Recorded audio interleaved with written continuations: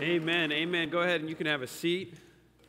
Give the band a round of applause just for the leading us in wonderful worship, the time they take away from their families to practice, to make sure everything is fluid and, and working together. You gotta love, love what they bring, that we could bring that, you know, to our King, that we could just say, all right, Lord, here, here's where we are. Here's our worship, here's our praise, right? And, and what a wonderful job uh, that they did. Now, I'm sure you're in a phase right now where you're either uh, mourning some of your goals you didn't achieve in 2017, right? Or, or, maybe you're thinking about goals in 2018, and I don't know how your goals fared for 2017. I know personally, uh, in my family, we were able to meet, I would say, a majority of our goals. Uh, I know personally, uh, two goals that I, that I set out for, for 2017, I didn't meet those goals. Um, I had a, a reading goal and I had a running goal and I didn't meet him. Now, I ran more and I read more than I did in 2016, but not as much as I wanted to do in 2017. So I'm readjusting my goals, and I want to give you just, just a side note here. I'm a big goal oriented person, love doing goals. Let me give you the trick for New Year's goals, for New Year's resolutions. Don't start them until halfway through January. Here's why you just got back from vacation. You're just cleaning up Christmas. How many of you still have your Christmas tree in your house?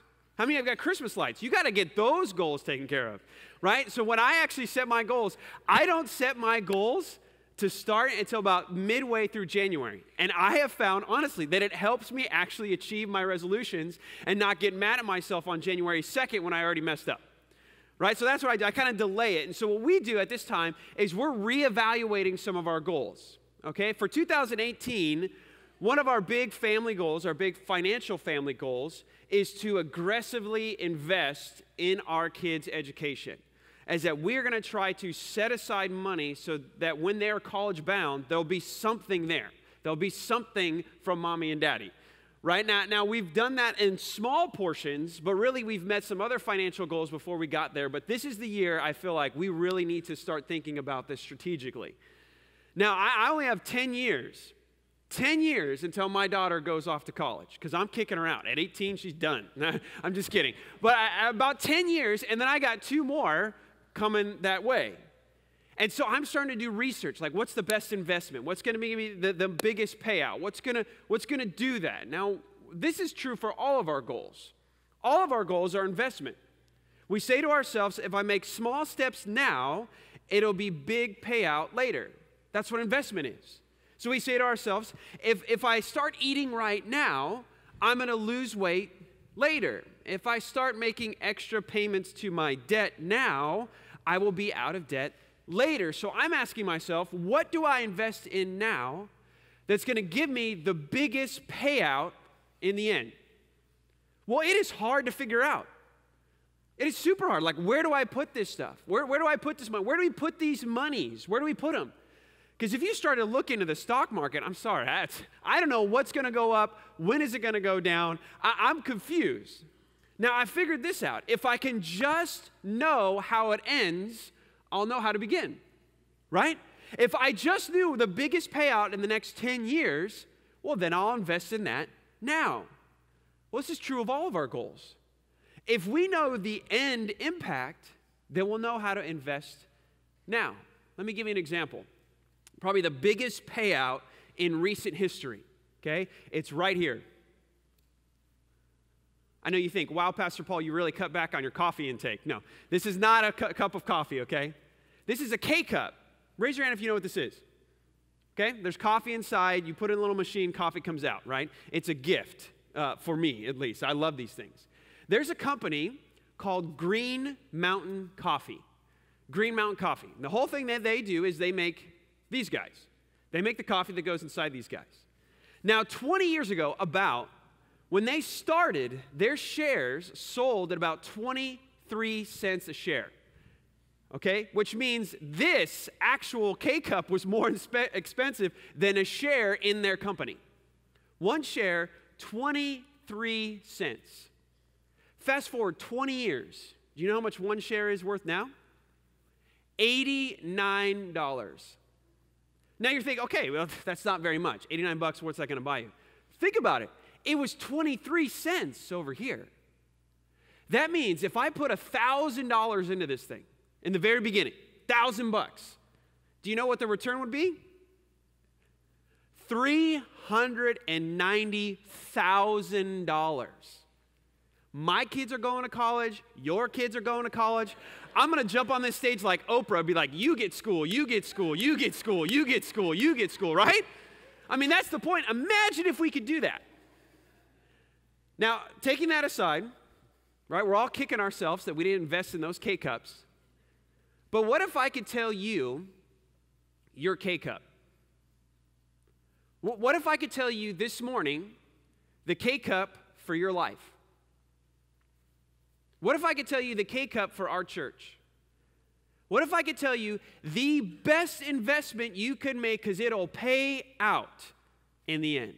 It'll be the biggest payout of any goal you ever set, of any investment you ever make. If I could tell you the biggest payout, the K cup, if you will, if I could tell you that, would you invest today? This is what the Apostle Paul puts before his church. He's speaking to a church that he planted, a church that he partnered with in the very beginning. He kind of brought up these believers, these early believers, and then he spoke to them, and this is what he spoke to them about. What he's trying to give them is this He's telling them as a church, as individuals, as a corporate body, here's your K cup, here's your investment, here's how you could have the greatest impact. Let me show you the impact and that will show you the investment. So I want you to open your Bibles to 1 Corinthians chapter 3.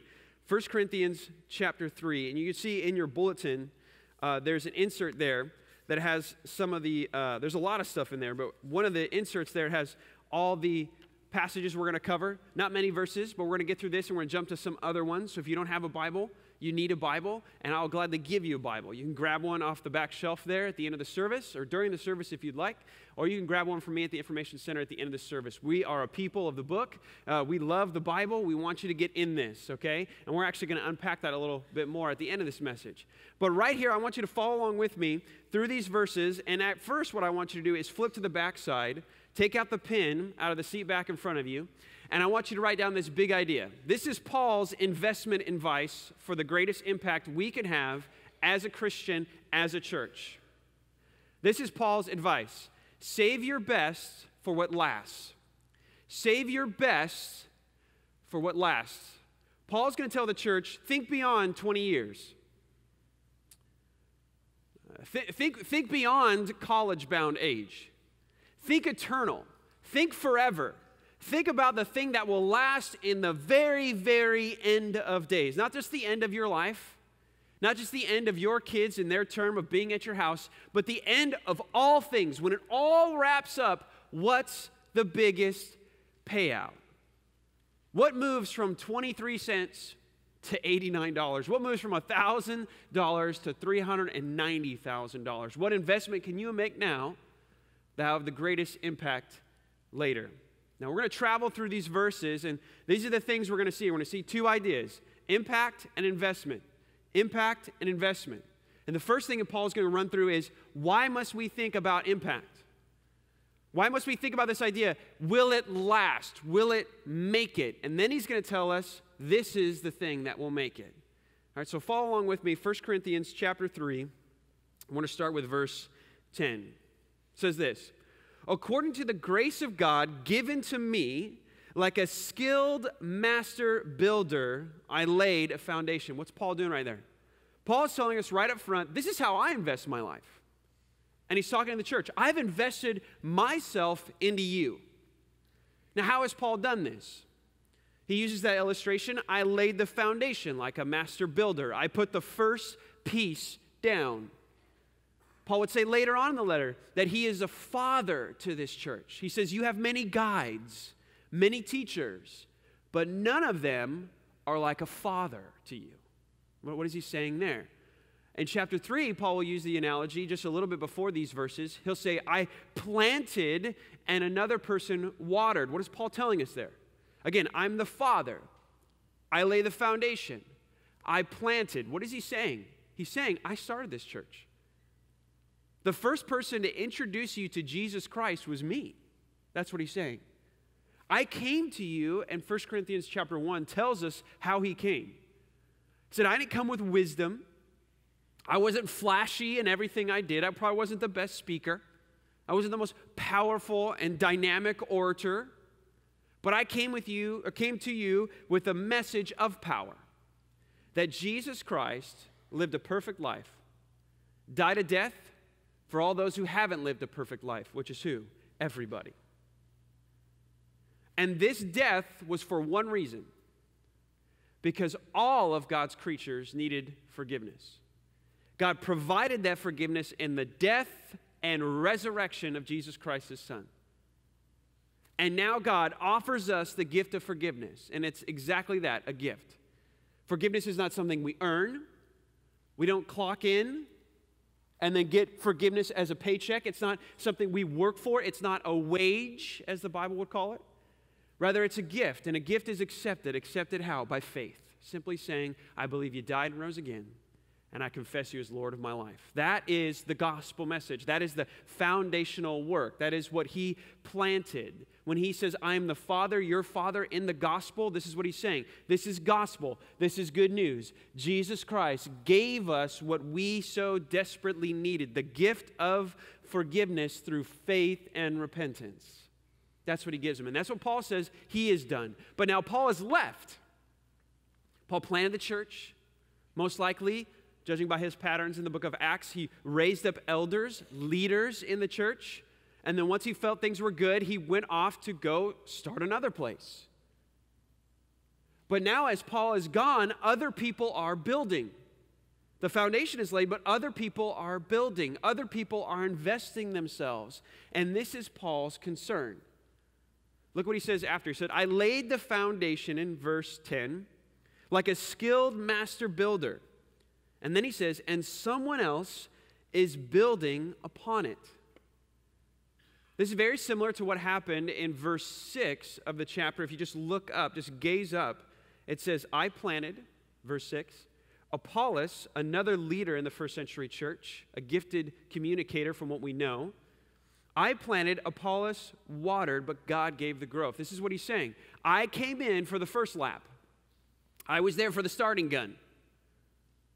I was there for the initial 23 cent investment. But now somebody else is guiding you on every lap. And this is a really a good way to think of Christianity. Christianity is not a moment of faith, rather, it's a marathon of faith.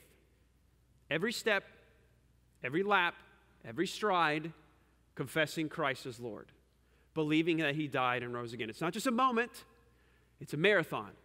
And Paul is saying other coaches have come into play, other builders, other investors have come into play. But he's concerned. Because what he's seeing now of the Corinthian church, he's seeing them run in a way that's not wise. And so he tells the church, specifically the leaders, this is what he says in the last part of verse 10.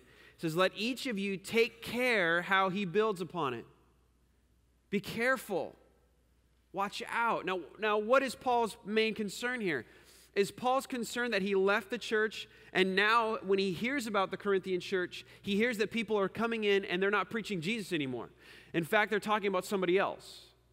In fact, they're talking against Jesus. Is Paul afraid of false teaching? No, I don't think that's his primary concern. I think he'll address that in our passage as we walk through it, but that's not his primary concern. Paul has used the analogy I laid the foundation, the work. Jesus Christ gave us forgiveness that we needed. He provided in his death and resurrection. It's accepted by faith, faith alone. But Paul says now somebody's building on it, which means that they haven't destroyed the foundation. They're building on it, but the way they're building is not necessarily wrong or false, it's foolish. It's unwise. It's not productive. The walls aren't plumb, if you will, they're not straight. Things don't match up. You've got four bathrooms all next to each other and one bedroom, right? It's a very confusing layout. It, it, it's sure the foundation hasn't cracked, but the walls seem very shady. They don't seem to have any sense of weight bearingness to them. It looks like they're going to fall over. Right? Look at what Paul says. Be careful how you build. For no one can lay a foundation other than that which is laid, which is Jesus Christ. That's his small addressing right there to false teaching. He says you can't start over again. But again, this is not his primary concern. His primary concern is foolish teaching, unwise teaching, bad investment. You didn't pick K cup, right?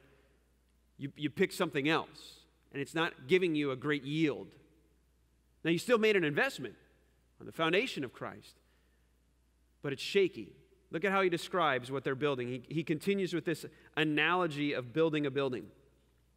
He says, again, in verse 11, no one can lay a foundation other than that which is laid, which is Jesus Christ. Now, if anyone builds on that foundation, again, what's the foundation? The gospel message. What are they going to build with? He finds he lists off six different materials: gold, silver, precious stone, wood, hay, straw. Each one's work will be manifested, for the day will disclose it, because it will be revealed by fire. And the fire will test what sort of work each one has done. What's going on there? He listed off all of those building materials. Now, each one is not really significant in their own regard. If you take them as kind of two groups, groups of three, the first three would last. If fire came to a building, they would last. Now, the other three would not last. Wood, that burns. Hay, straw, that burns. And we know that lesson, right? We've, we've seen that throughout California. We know what catches on fire. Paul is saying here is if you invest wrongly, in the end, the payout won't be great. It'll burn up, it won't last. This is why Paul is saying invest, save your best for what lasts, what endures, what's imperishable. Because a day is coming, a test is coming. And every investment you make in your life is true in this way. Every investment, which is pretty much all of your life, all of your life is an investment relationally, socially, economically, spiritually. Everything you do now is an investment for later. The question is will it pass the test of impact? Just like when you trade out that stock or you sell that stock off, what's the payout? If it's less than you first paid, what happened? You, you failed the test. Your investment was bad, it didn't do what you wanted it to do. Paul is saying all of our lives all of our investments spiritually will come to a day, a day of scrutiny. And this day isn't now, and this day isn't designed by men. God doesn't go at the end of our life and say, What do you guys think? Right? How, how did you think the investment was? It's not initiated by man. Scrutiny is not initiated by man. Paul is actually not concerned of our people going to approve of my life and ministry the way that I build the church. He's not concerned about that. He's not even concerned about the now of it. Scrutiny comes later, comes in the future, and it comes from where? It's upward, it comes from God. God will bring scrutiny to the investments you've made in your life. And some things will burn, they'll burn. And then look what he says the payout is. If any of the work that anyone has built on the foundation survives, he'll receive a reward. Now, that reward is not heaven. Now, that reward is in heaven, but it's not heaven.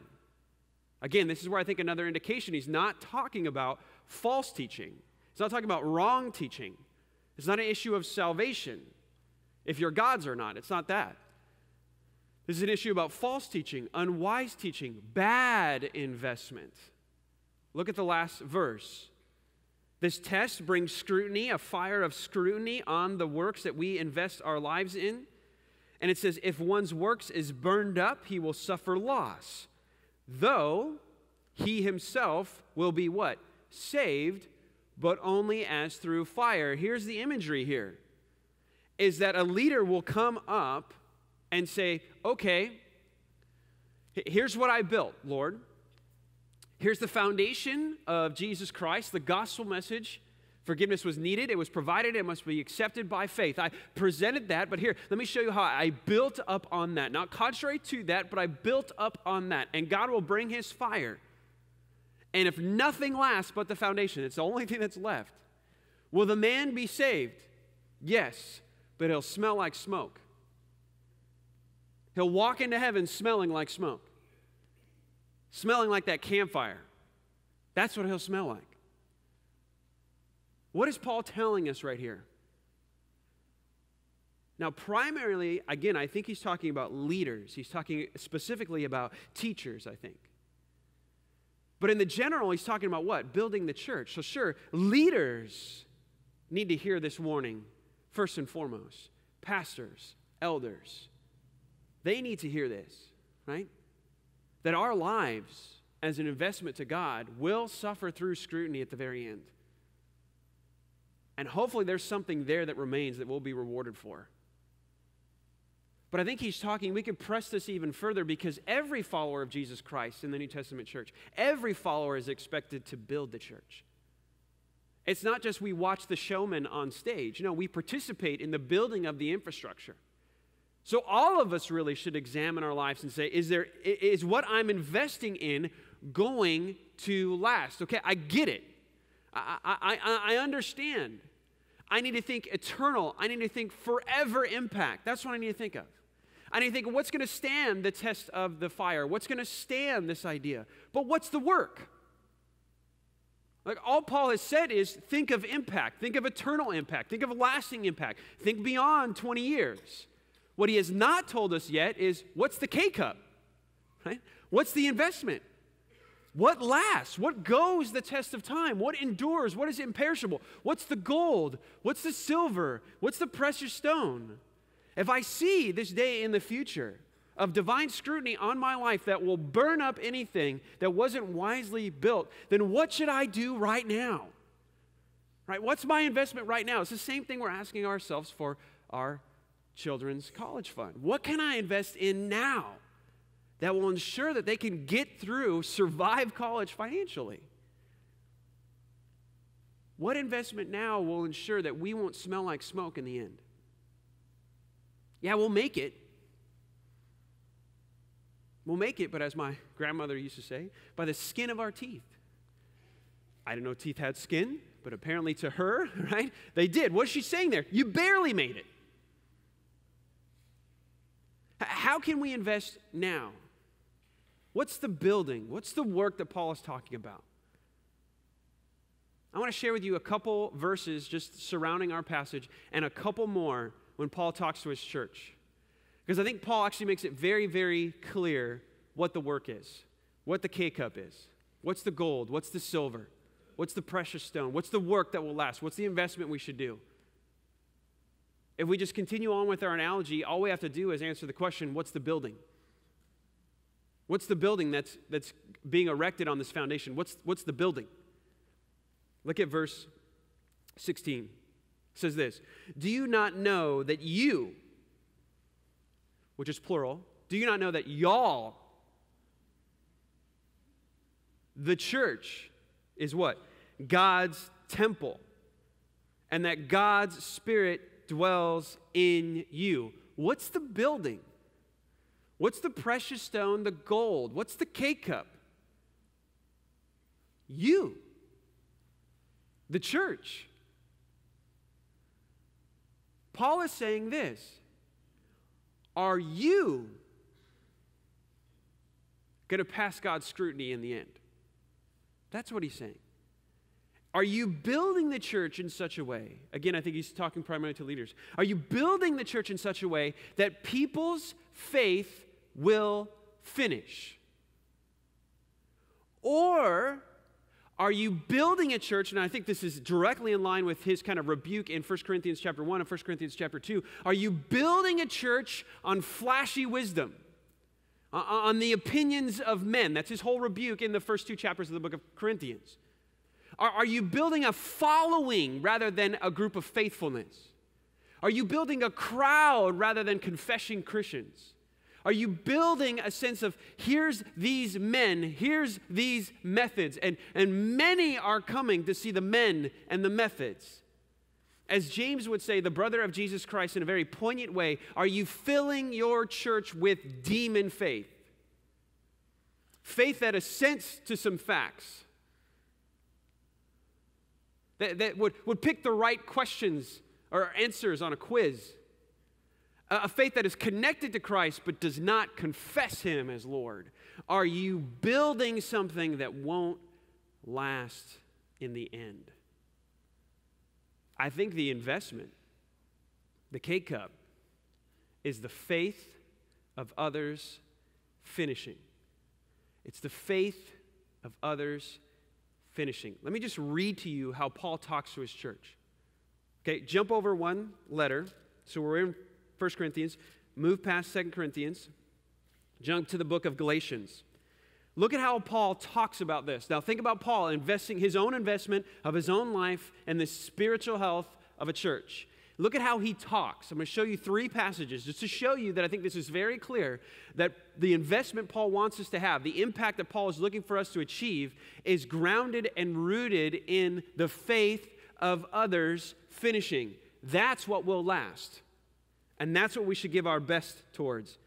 Look Galatians chapter 4, verse 9.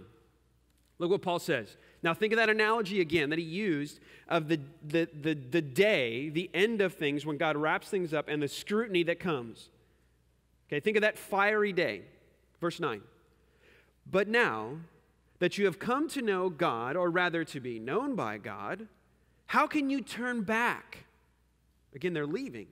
How can you turn back to the weak and to the worthless elementary principles of the world, what Paul would call wisdom in 1 Corinthians 1, whose slaves you once, uh, whose slaves you want to be once more. You observe days and months and seasons and years. Look at this verse. This is Paul's primary pastoral concern right here. This is Paul's paranoia, if you will, in ministry. It's what wakes him up in the middle of the night, right here. Verse 11 I am afraid I may have labored over you in vain.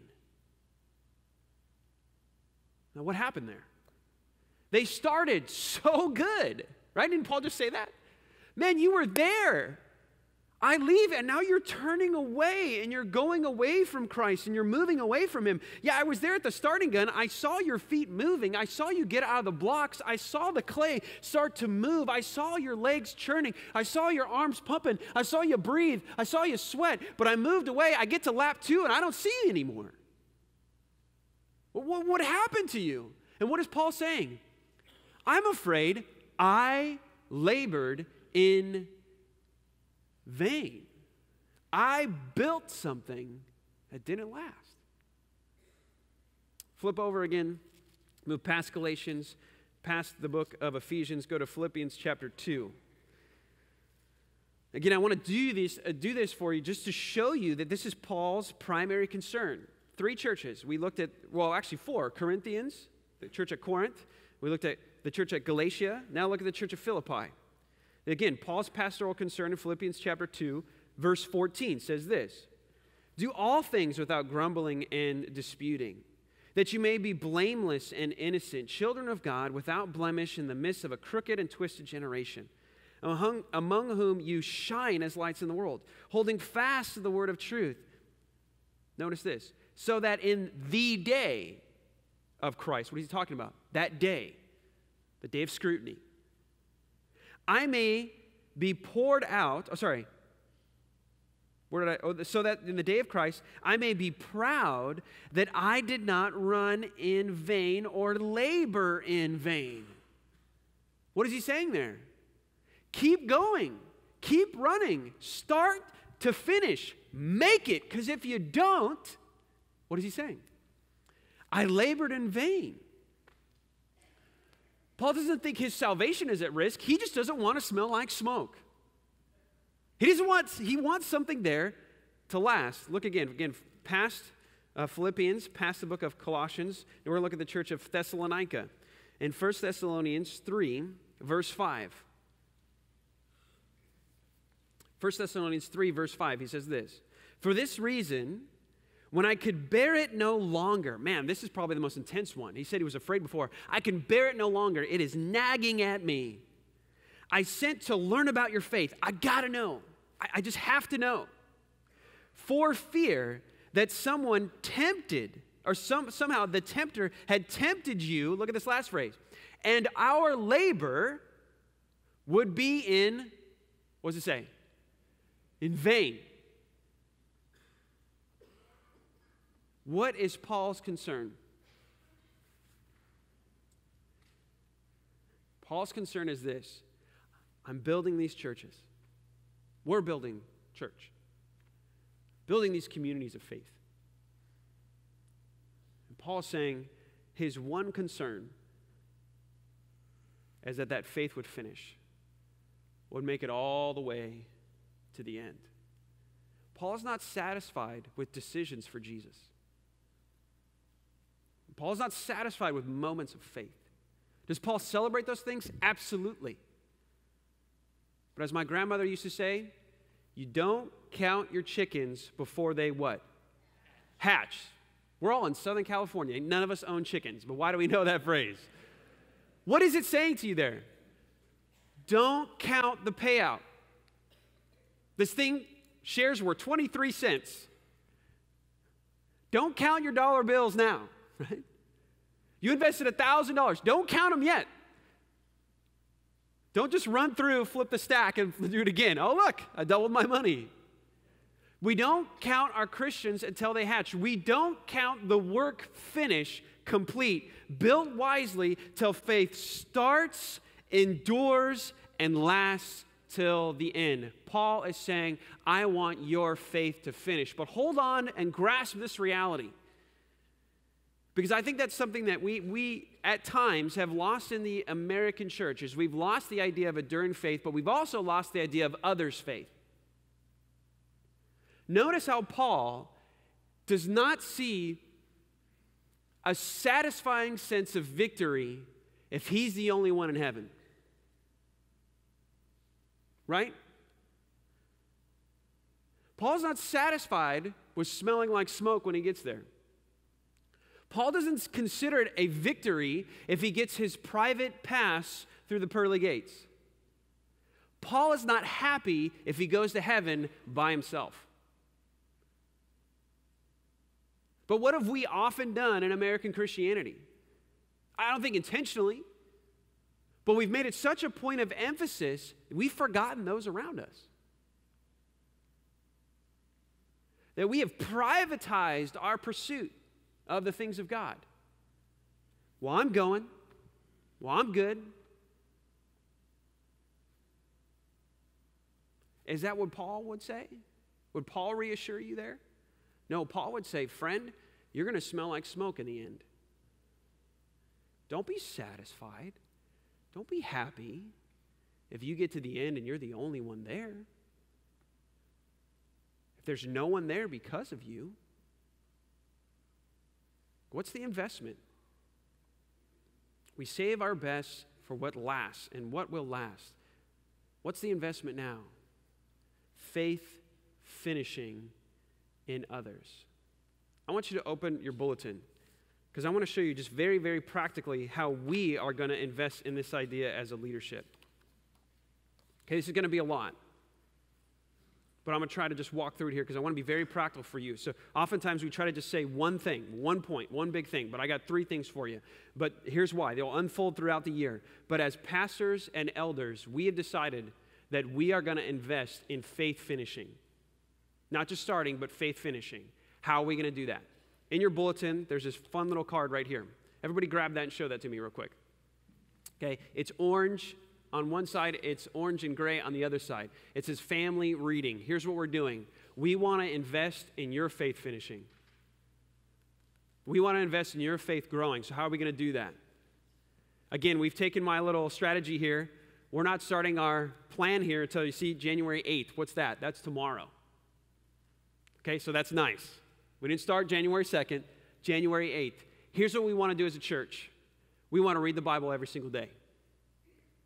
Now, we're, we're kind of lowering the bar a little bit here, making it more achievable, shrinking the win, if you will. You're not going to read through the Bible in one year. Now, if you do that, great. Extra credit, we'll give you a gold star. You could sit up front in every message. We'll give that to you. Okay? We're going to do this. Our goal is simply this daily communication with God. All of our people, communicating with God daily. How are we going to help you run that race? How are we going to invest in you? How are we going to see your faith finish? This is how we're going to do it. We're going to give you one of these every month. This is only January here. We're only reading two chapters a day. Now, sometimes I sneak in an extra chapter. That's only to keep a good pace. But you're only reading two chapters a day. Just take one in the morning, one at night. You're going to check that little box when you're done. Keep this in your Bible and follow along with us. Every month, we'll keep giving you this. Every week on Wednesday, you'll get a video from us. Not scripted, not planned, just opening up, hey, I'm journeying with you on this. I'm going to do those videos and just say, hey, here's what God's been speaking to me throughout the week through His Word. And I encourage you to do it. Every month, we're going to remind you. Every week, we're going to remind you. And hopefully, every day, you'll find yourself communicating with God. Imagine your spiritual growth if every day you were in God's Word. That sounds like we're building with gold, precious stone. We want to see your faith finish, but we want to see faith start in other people too. Take this, this guy out here, this little calendar. You got a beautiful picture of Ron there. Got to love that. You can frame that. That's fine. Ron has permitted that. You can put it on a dartboard if you'd like, however you want to use that. Ron is okay with that. Uh, wear your USC stuff next Sunday. Uh, so that's going to be a fun time to celebrate that. But on the backside there, it says make a difference. There's a ton of dates on here. Here's what this is we want you to see faith start in other people. I'll tell you this right here. If you're a Christian, you're a follower of Jesus Christ, if you have never seen somebody come to faith, you're missing one of the greatest things in your spiritual life. And you, you know it. Just think back. Think back the first time you shared your faith and somebody grabbed a hold of it. What was that like? Do you remember that? I remember that. My friend Brandon, when I was in junior high, and I botched the message. I remember becoming a Christian. I walked in there and I tried to tell him how to become a Christian. It was so bad. He wanted to become a Christian, but I had no idea how to get him to be one. So I had to take him to my youth pastor and say, Look, he wants to love Jesus, but I couldn't remember how to explain it. Will you help me? But I'll tell you what, that moment, that moment was incredible. I had a strategy in student ministry when I was in student ministry about five years ago. I knew this if I can get a leader in the first three months to not only share their faith, but see faith rise in a student, if they had that one experience, I had them for the rest of, their life. Because there's nothing like seeing faith start in somebody. There's nothing like it. And if you haven't experienced that, we have missions trips. You'll be trained to do that, you'll get to do that. We have community work, you'll get to do those things. We have classes that Mike has. Where if you can memorize one verse, you can share your faith. One verse, and you probably already know it. We want you to see faith start in other people. We want your faith to grow. That's why we're reading the Bible. We want you to see faith start in other people. That's why we're designing all of these events for that to happen for you. But lastly, and this is not in your bulletin, this is in your seat back in front of you is we want you to see faith in other people finish, make it long term. And you know what the key to that is? Fellowship. Being in a life group. Being there where people watch you run every lap, are there to encourage you when you fall, or you're there to encourage somebody. This is the brilliance and the beauty of life group. Jumping in, diving in, saying, I want to see the faith in others finish. That's how I want to invest two weeks, we're going to kick off our life group cycle. All our life groups will start up. If you're not in one, get in one. Fill out that card, bring it to the information center. I want to leave you just with one idea as we close out one challenge, one question. You know, oftentimes we evaluate our life and we ask ourselves this question How many people, well, we ask ourselves probably the question, who and how many will be at my funeral? I don't know if you've ever asked that question of yourself. Who and how many will be at my funeral? I think a more biblical question is who and how many will be at the final day with me? Not how many will come to celebrate my life, but how many will be there with me enjoying eternal life? Will there be anybody there? Anyone alongside of you? Let's pray. Father, we love you and we thank you for who you are to us in Jesus Christ.